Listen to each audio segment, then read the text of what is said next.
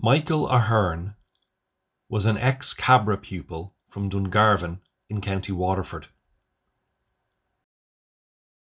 His education in St. Joseph's was funded by the local Board of Guardians, but it seems he left school before his education was finished.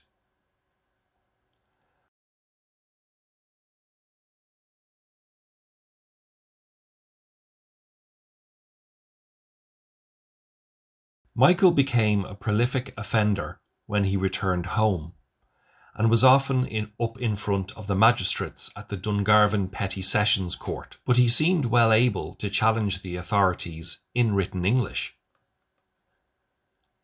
On one occasion, in January 1900, Michael was charged with public drunkenness, and the policeman that arrested him, Constable Neill, stated in court that Michael had scratched his face and tried to bite others that helped bring him to the station. And as a result, he had to be handcuffed on the street.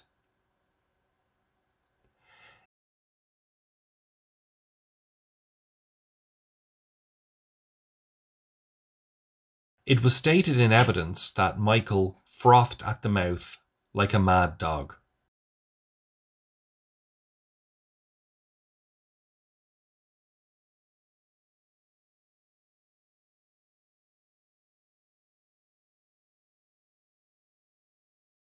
But in court, Michael did not take this lying down. He had the opportunity to cross examine witnesses, including the prosecuting policeman. He wrote a question to another of the arresting policemen, Sergeant Creedon, asking if it was true that he had used his baton on him that night. Creedon replied that he had, when Michael was gripping him in the most determined fashion Creedon had struck Michael on the knuckles.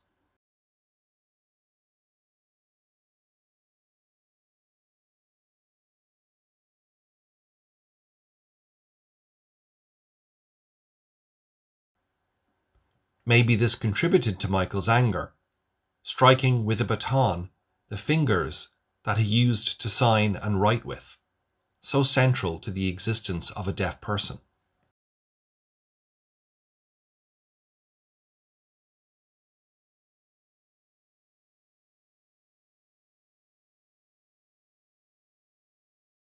Michael was sentenced to three months in prison.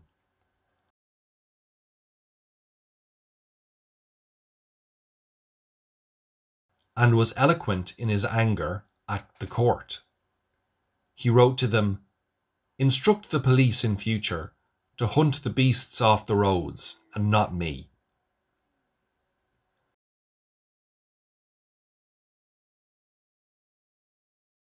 Before he was taken from the court, he also wrote, It is off to the war you should send me. This no doubt referred to the Boer War in South Africa, where Britain was, at the time, putting down a rebellion of Afrikaner Boer settlers, a conflict that aroused great interest in Ireland.